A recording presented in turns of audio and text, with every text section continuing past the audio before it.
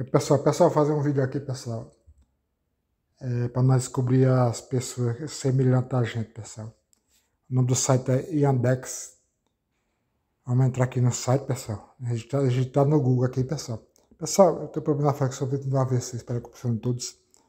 Vamos digitar aqui no Google Yandex, Yandex Image, pessoal.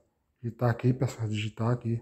Eu já digitei, pessoal, Yandex Image, pessoal. Você digita do mesmo jeitinho aqui. Vou deixar na, na descrição, pessoal. Pessoal, aí a primeira, você aperta aqui na primeira, primeira aqui, que aparece aqui, pessoal, o site. O primeiro site que aparece, pessoal, aperta aqui nele lá. Tem um, um, um Y vermelho aqui, pessoal, aperta nele aqui, ó. Bem explicado aqui, pessoal. Aí, pessoal, bem aqui, tem bem aqui no site Yandex, tem aqui esse quadradinho, pessoal.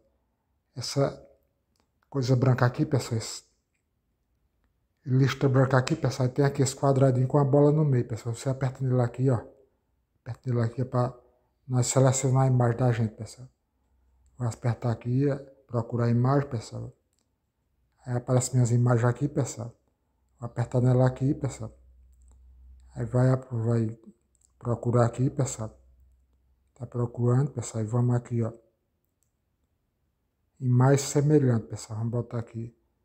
Apertar, pode ser mais semelhante ou similar. Pode ser, não dá dúvida. Mais semelhante. Se ela vai aparecer similar. Aí tá aqui. As, as pessoas que parecem com eu, pessoal. É isso aí, pessoal. É bem simples, pessoal. Se vocês quiserem descobrir as pessoas que falam, parecem com vocês, é só digitar esse site aí, Yandex.